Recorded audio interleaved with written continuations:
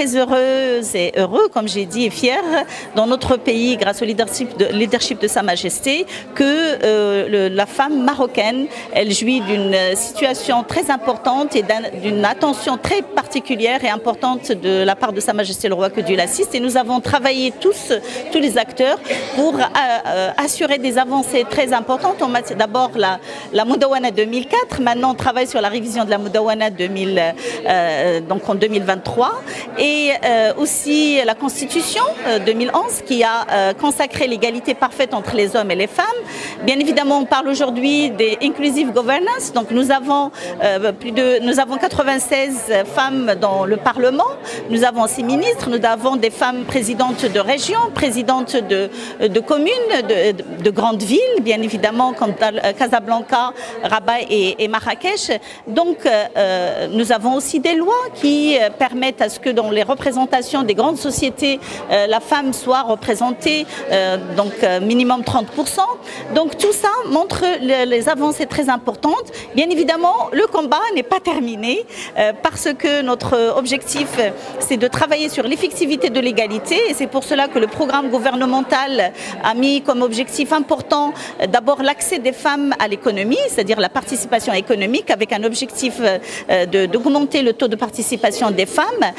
Et nous avons aussi, en tant que gouvernement, créé la commission de l'égalité entre les sexes et l'autonomisation économique parce que l'autonomisation est un levier important pour jouir des, droits. Et nous avons mis en place le PGO3, le plan gouvernemental de l'égalité numéro 3, qui a trois axes très importants. Et on parle aujourd'hui de leadership très important et la protection euh, des femmes, c'est le deuxième axe et le troisième axe, c'est travailler sur les lois et sur la lutte contre les stéréotypes. Nous avons euh, contribué aussi par une stratégie euh, qui est la stratégie GISR, Green Inclusive Smart Social Regeneration, qui vise à décliner tous ces engagements, contribuer bien évidemment avec les autres départements ministériels à décliner ces engagements.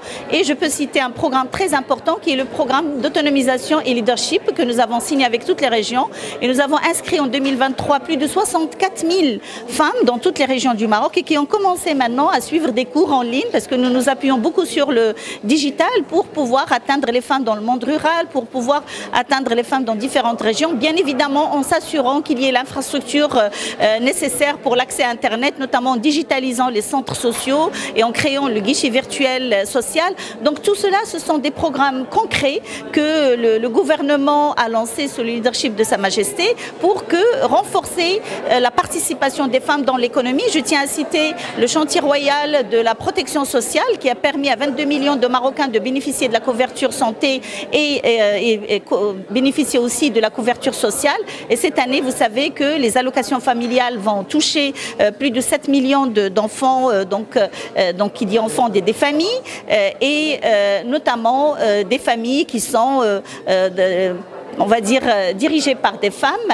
Et, donc tout ça, c'est un effort collectif du gouvernement, de la société civile, du privé. Et, tout cela, on travaille ensemble pour, pour, pour avancer davantage sur les droits des femmes, comme j'ai dit, sous la, le leadership de Sa Majesté, que Dieu l'assiste.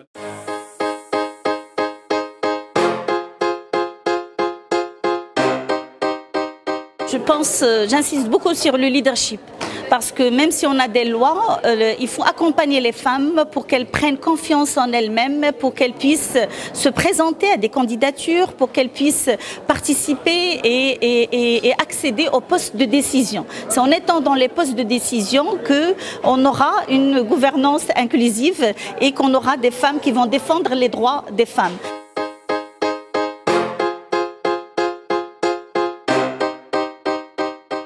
On a un programme très important pour l'éducation des filles, notamment dans le monde rural, l'accès à l'économie, c'est-à-dire la participation économique des femmes.